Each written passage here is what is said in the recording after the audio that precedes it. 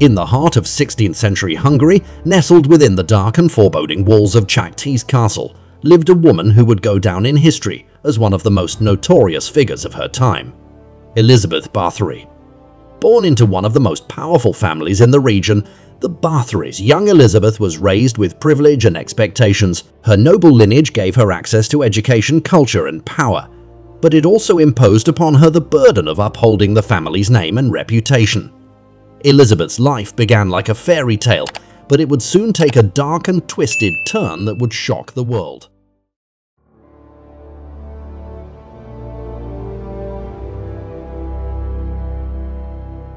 The Bathory family had a long and storied history, but Elizabeth's notoriety would eclipse all that came before her. She was a striking figure renowned for her beauty and intelligence. However, it was this beauty that would eventually become her obsession. As the years passed, she grew increasingly anxious about her fading youth and looks. This obsession with maintaining her youthful appearance would drive her to commit heinous acts that would go down in history as some of the most gruesome and horrifying crimes ever committed by a woman of her status. Elizabeth Bathory's rise to infamy was further fueled by her marriage to Count Ferenc Nadasdy, a fearsome, brutal warrior known for his military victories against the Ottoman Empire.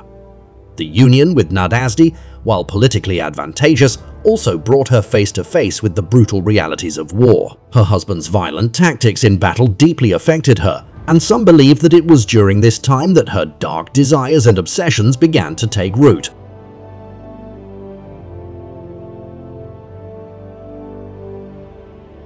Elizabeth Bathory's obsession with her own beauty and the pursuit of immortality was relentless. She believed that the secret to eternal youth lay in the blood of young virgins, a belief likely influenced by superstitions and folk legends of her time. In her mind, the crimson life force coursing through the veins of these young girls held the key to reversing the effects of aging. She surrounded herself with a network of trusted servants, who shared her delusions and aided her in her gruesome quest. Inside the confines of Čachtice castle, the rituals she devised were as grotesque as they were absurd. Young girls, often local peasants, were lured to the castle under the false promise of employment or education. Once within her grasp, they would be subjected to unimaginable horrors. Bathory and her servants would mercilessly drain their blood, often through vicious beatings, sharp objects, and other sadistic means.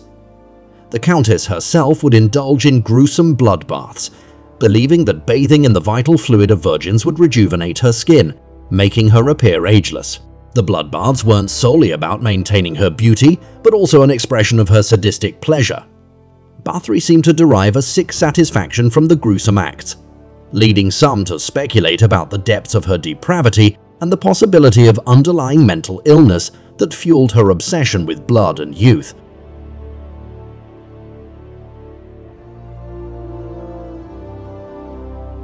Within the cold stone chambers of Čachtice castle, Elizabeth Bathory conducted her sinister rituals with a chilling sense of routine. The unfortunate victims who fell into her clutches experienced a nightmarish existence.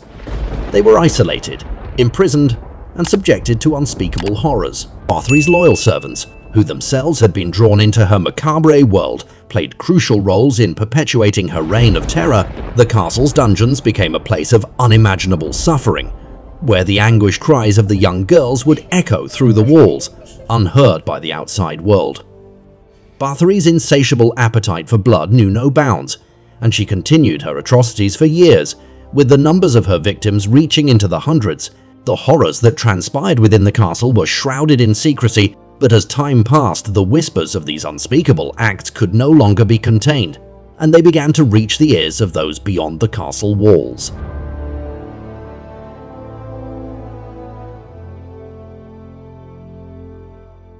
The horrifying events at Čachtice castle could not remain hidden forever. The local villagers and peasants could no longer ignore the rumours and tales of young girls who vanished without a trace, never to be seen again. The stench of death seemed to linger around the castle, and a sense of foreboding shrouded the area. Fear and unease spread like wildfire through the region as the legend of the bloodthirsty Countess Bathory took root concerned family members of the missing girls, spurred on by the eerie stories circulating through the countryside, began to investigate the truth behind the tales. They sought the counsel of the clergy, who too heard the whispers of horror. As they delved deeper into the unsettling accounts, they uncovered a web of depravity and cruelty that could no longer be ignored. The moment of reckoning arrived when a Lutheran minister named Istvan Magyari dared to confront Elizabeth Bathory about the disturbing rumours that had plagued her. What he encountered inside the castle was a scene of such horrific brutality that it shook him to the core. The evidence was too overwhelming to ignore, and he immediately reported his findings to the authorities. The Countess's days of infamy were numbered.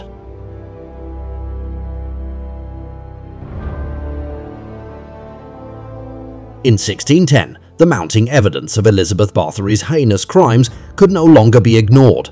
Her reign of terror was coming to an end. The authorities, horrified by the scope of her crimes, decided to take action. Bathory and her loyal servants were arrested and brought to trial. The testimonies of survivors and witnesses painted a horrifying picture of life within the castle's walls, and the evidence of their guilt was overwhelming. The trial of the Blood Countess was a sensational event. It was a stark reminder of the horrors one person could commit when driven by unchecked desires and delusions of eternal youth. The verdict was swift and merciless. Elizabeth Bathory and her accomplices were found guilty of multiple counts of murder and sentenced to a lifetime of imprisonment.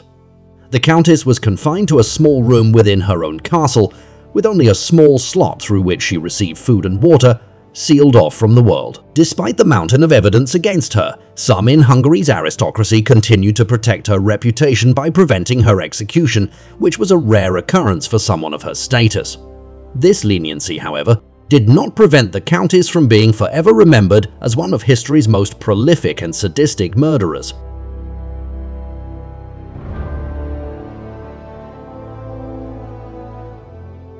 Elizabeth Bathory's name has become synonymous with horror and serves as a cautionary tale about the consequences of unchecked desires. Her story has inspired numerous works of literature, music and film, each adding its own interpretation to the macabre narrative, whether a historical figure or a product of myth and exaggeration. Bathory's legacy endures as a grim reminder of the depth to which a human soul can descend when consumed by obsession and cruelty. The enduring fascination with Elizabeth's dark legacy has given rise to a plethora of urban legends and ghost stories surrounding her supposed haunting.